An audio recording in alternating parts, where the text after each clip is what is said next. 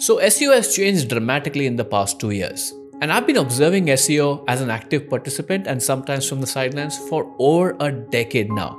And I've seen some big changes. And the changes that have happened in the past couple of years, and most importantly, the impact it's having on users like you, is I'd compare them to the panda and penguin days of SEO. The OG SEO guys will know what I'm talking about. So let's talk about the state of SEO in 2025. What's going on? What can you do, and what's the future for you as a small business owner when it comes to Google search.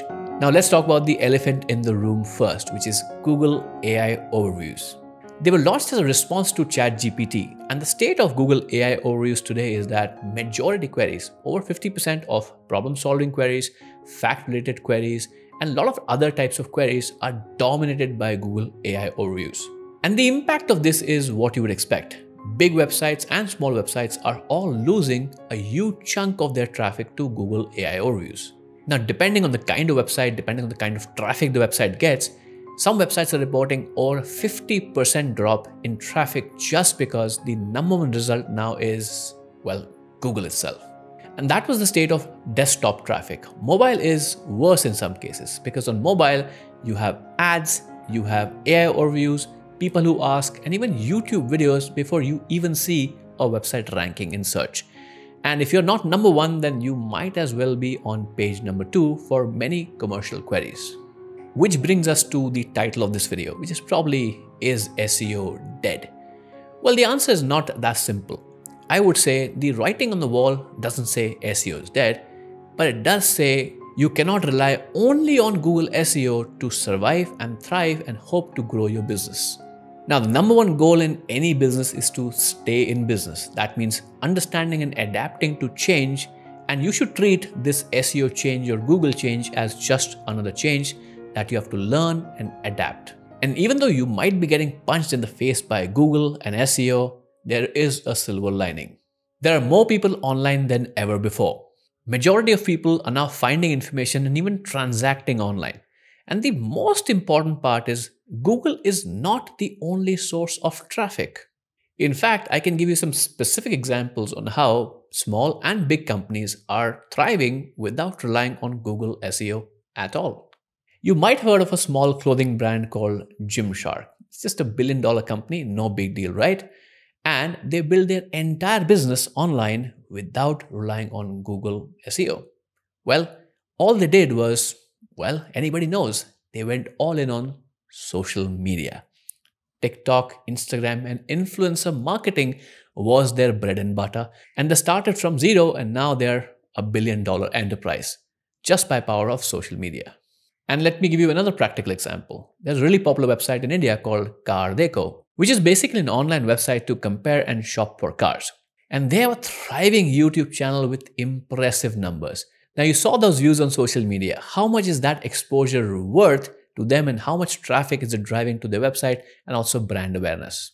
Let me give you another car example. A company in India called Bromotive, which is a car repair shop, they started vlogging. Yes, vlogging behind the scenes content of how they repair cars, how they're painting cars, and they are so successful that now they have millions of subscribers across multiple channels. Yes, multiple channels, and they even have a dedicated media team now because they're so successful on YouTube. And they've taken all this success on social media to build a thriving franchise business. That's how they're expanding to multiple cities now, just with the power of social media. And there are similar or better examples in almost every business niche you can think of gardening, landscaping, solar, HVAC, pest control, every single business you can think of. So don't think that your business is unique and it won't work on social media for my brand. Now, I'm not giving you these examples to convince you to ditch SEO and go all in on social media.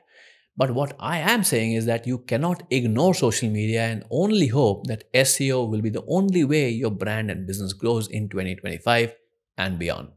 So maybe now you're thinking, all right, it makes sense. What do I actually do to ensure that I don't completely ignore SEO and I don't have to do full time social media to actually get traffic to my website and even grow my business? Well, glad you asked because that's what the video is about.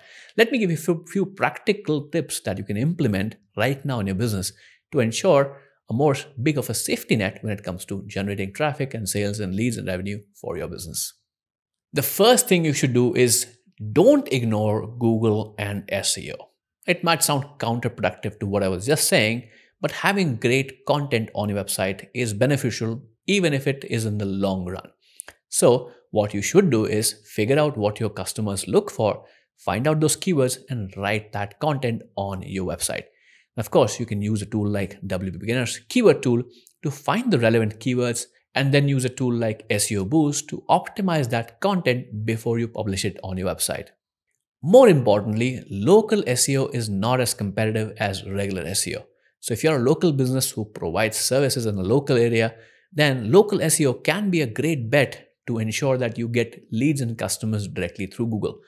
So if you're using WordPress, then use a tool like All-in-One SEO and also use something like Google My Business and optimize the hell out of it to ensure that you rank higher in any near me queries and also in the map listings for related queries.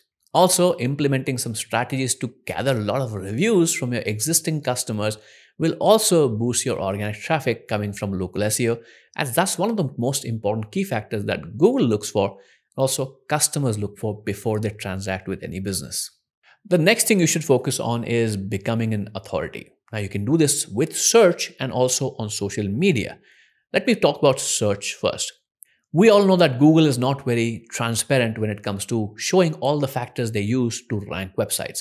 But they've clearly said in the recent documents, especially with helpful content updates and related documents, that they're trying to find authoritative websites and websites that they can trust. We all know that the EEAT guidelines are in place. That means expertise, experience, authority, and trust are the most important factors what Google looks for in a website.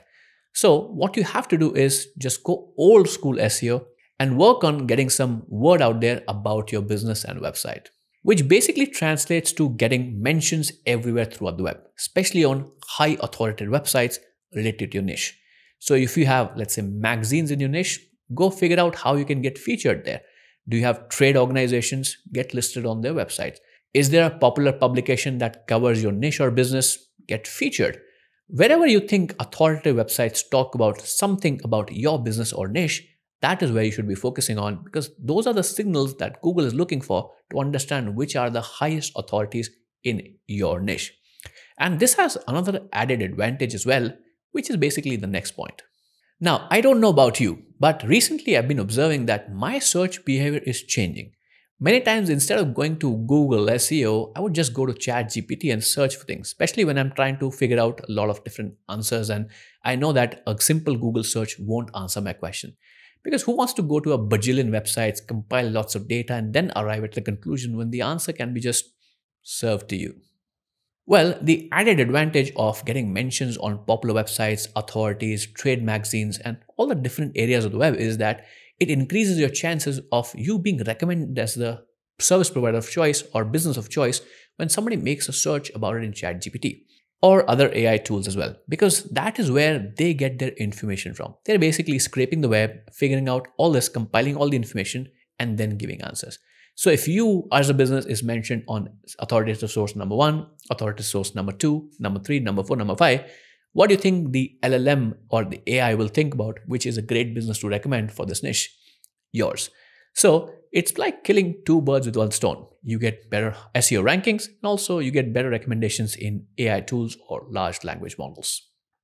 The next thing you should be doing and probably are already doing to some degree is get all in on social media.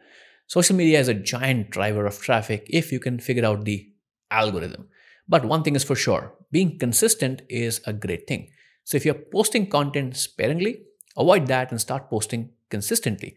That can be once a week or once a day, depends on how much content you can create. But start to create content consistently on social media, whatever you think is the right platform for your niche.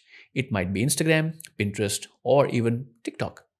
One thing to keep in mind when you're starting to post on social media is don't go just post random things. Develop a good content strategy. And one of the benefits of doing social media is that social media is not search driven primarily. So it doesn't matter whether a user is searching for something. If the algorithm of the platform thinks that this content is interesting, it will serve it up to the right audience. That's the part you have to figure out. If you spend any time scrolling on social media, you've probably seen people making things interesting.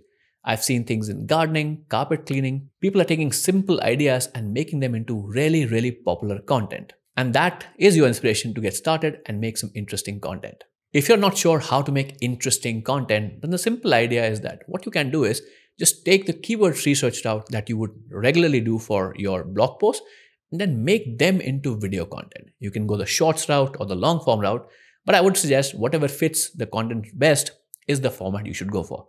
Now, the benefit of creating video content like that is twofold. First, you can take that content and release it on the social media platform directly. That means getting natural distribution of content to the audience. And you can embed those on your website as well. So whatever traffic you do get on your website, they can be more engaged because a video is usually more engaging than a blog post, at least for a good chunk of the audience. So you're increasing the likelihood of people sticking through your website. And Google also ranks YouTube videos nowadays. So if you post something on YouTube, it's very likely that it might be just start ranking in search and then people come into your website through that video as well. So it's an overall rounded strategy to convert or take content that you already decided to write content about and just make those into videos as well. Another thing to keep in mind is you should not ignore non-video platforms, which are the OG forums. Reddit, Quora, Pinterest, not technically a forum, but still a huge driver of traffic.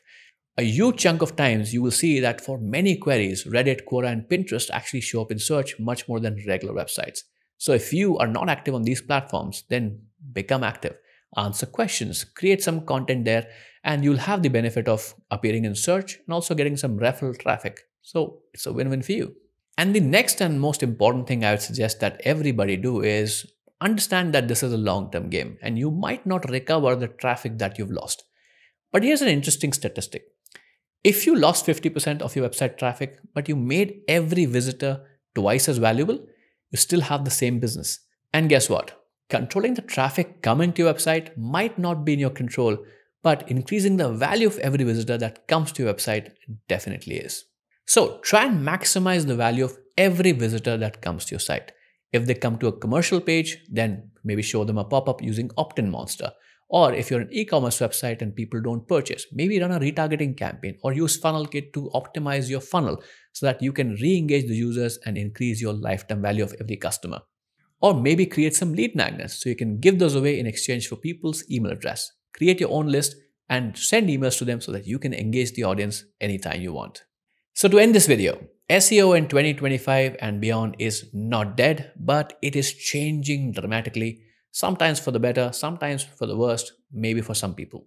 And as I said before, the businesses that will win are the ones that adapt quickly and learn how to play the game. By diversifying traffic sources, maximizing visitors, and focusing on real audience engagement. Let me know what you think about this video and what are the strategies you have taken away from this video that you can implement and you will implement in your business. You're watching Yuvraj from WPBeginner. I hope you found this video valuable. If you did, share it with someone. I'll see you in the next video. Take care.